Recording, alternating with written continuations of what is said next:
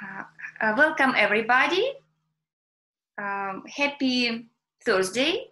And uh, we have a guest today, all the way from Finland, Arto Tienaho. Arto, welcome. Thank you, Elena. I'm here in Kauhajoki, Finland, to be exact.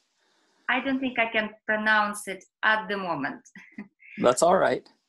Arto, you are a part of uh, our community, Va- Vancouver community. Yes.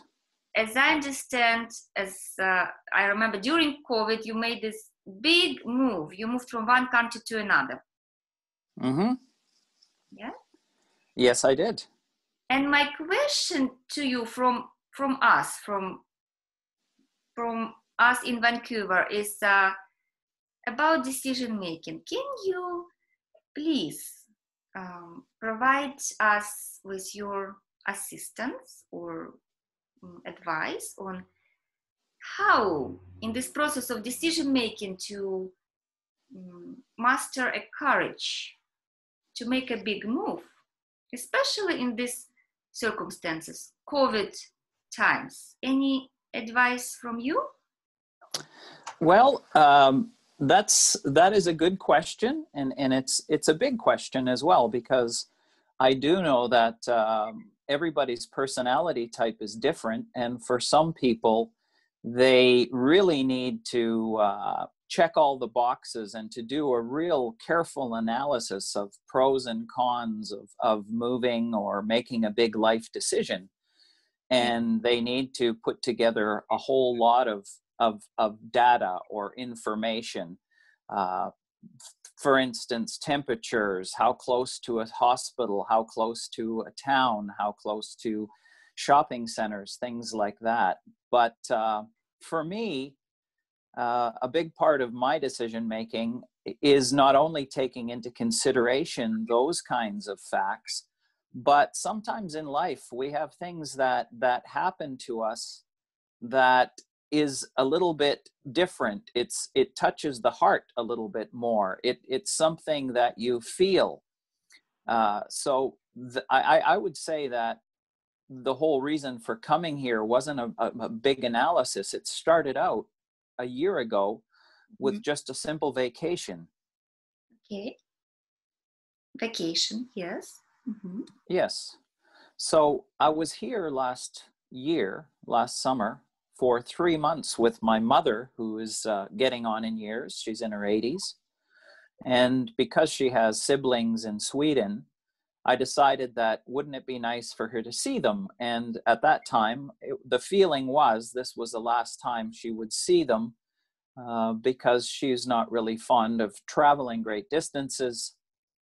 I remember so you we went. That. I remember you told me that you said your, your mom said your mom said that that's probably the last time I am going to Finland, fin, Finland, yes. not flying. And here you yes. move to Finland, both of yes, yes, exactly. Well, that's why you know they say be careful what what you wish for, be careful what you say, because sometimes in some ways the opposite can happen.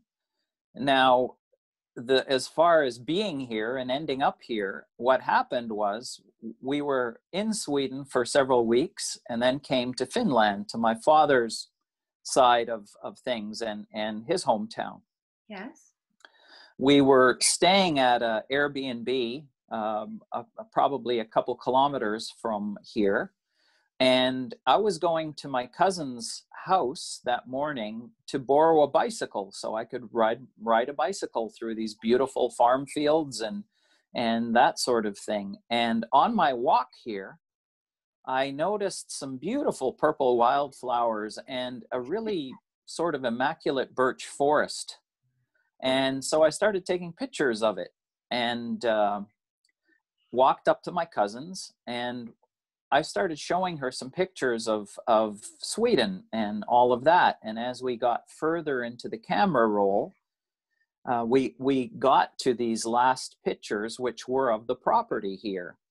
And uh, because my, uh, my cousin was fully aware of where this was, she said, Oh, did you know that that place is for sale? Mm-hmm. So I said, Well, that's interesting and didn't think more of it. But uh, when I was riding the bicycle back to the Airbnb, I decided to pull into the driveway and just have a closer look at this place. Yes. I rode the bicycle into the property. I looked around for a while and I felt I felt this real connection or this sense of calm being on this piece of property. And I sat there for about 10 minutes in just absolute quiet, just listening to the sounds of the forest. And, and I had this feeling that I thought to myself, if it was snowy, if it was dark, if it was raining sideways, how would I feel standing here looking out at the, the woods here? How would I feel differently? Because it was a beautiful sunny day. And I thought to myself, I think I'd feel really good here no matter what. So when I got back to the Airbnb, I called my cousin and I said, Is there any chance of, of seeing the place? Because the truth is, there was absolutely no advertising here on the property at all. There's no signs, nothing. Okay.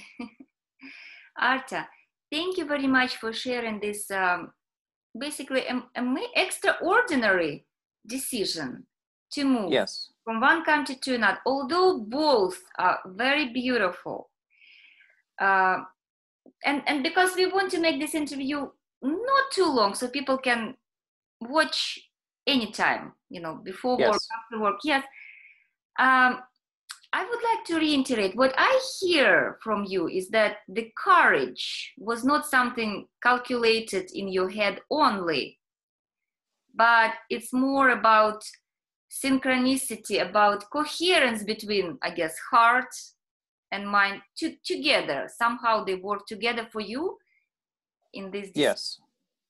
yes. yeah.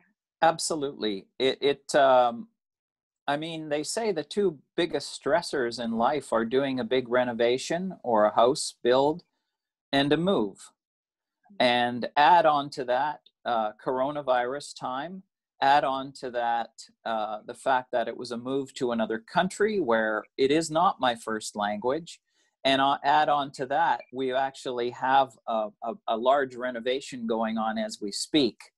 Yeah. Uh, but the one thing that I thought to myself also with coming here and all the rest of it was while my circumstances can change, the one thing that I have absolute, complete control over is my attitude toward all of it. That's a and beautiful statement, Arto. Beautiful. And very clear too.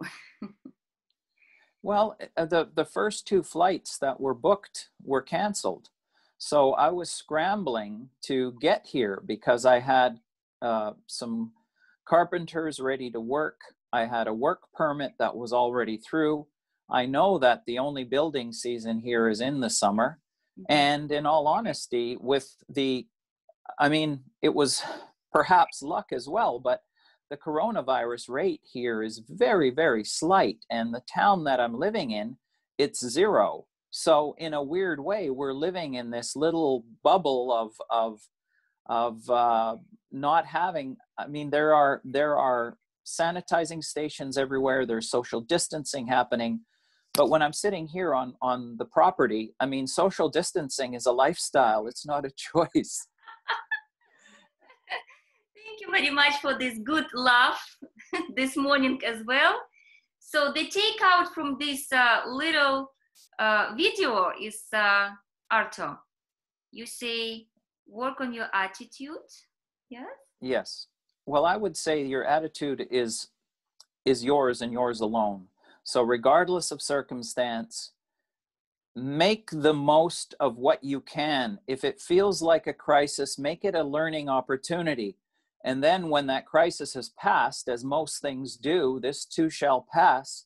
Yes. Uh, be yes. aware that that the, the the sweet days and the wonderful things in life are are that much better if you can actually get through those tough times uh, with a good attitude.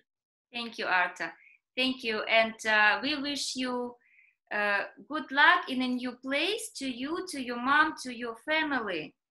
And I know Thank you. you, you do provide coaching services online. Uh, Yes, yes. I've been doing some, as my background was with Anxiety BC for almost eight years. Uh, and I've had my own uh, history of anxiety through my life and, and learning some really good, helpful tools, tips, and techniques and, and ways to manage. But the good thing about that is you get to a place where where everything is sweeter and better and you actually have more courage to do more than you ever would have before if you apply that sort of uh, thing toward every day of your life thank you very much Arthur, how, how can people reach you if they would like to have a word with you mm-hmm. well if if